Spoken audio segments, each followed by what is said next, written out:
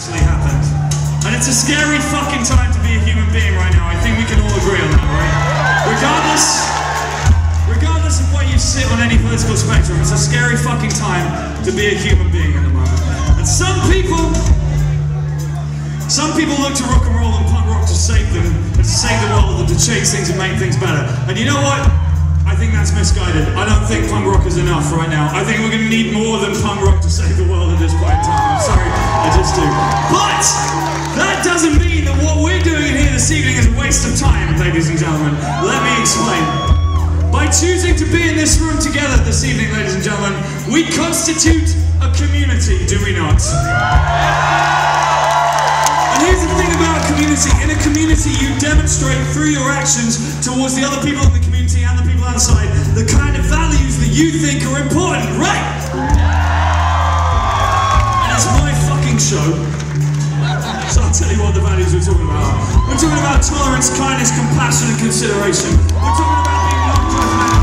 We're talking about not giving a fuck where somebody's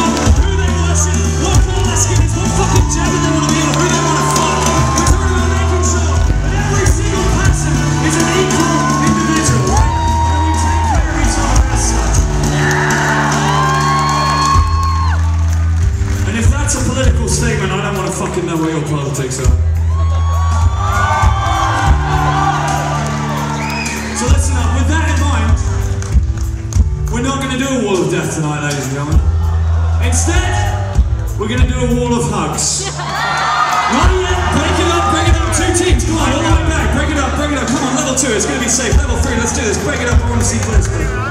So here's how it works, right? When I shout hugs, and not before, I want you to run into the middle and hug a stranger. Not someone you know, hug a stranger. Now, do this shit respectfully. Don't be a dickhead about it, do you know what I mean? Be considerate, but hug someone you don't know. And if you're not on the front line, if you're on the sides or in the balcony or anywhere else, you can still do this. You can find someone you don't know and give them a fucking hug. Are you gonna do this with me, San Francisco?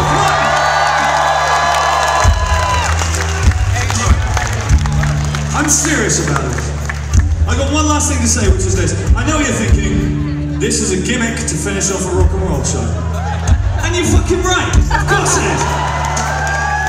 But again, that doesn't mean it's a waste of time because here's the thing, if we all do this together, maybe in that collective moment, we might remember how it feels to be open rather than closed, how it feels to be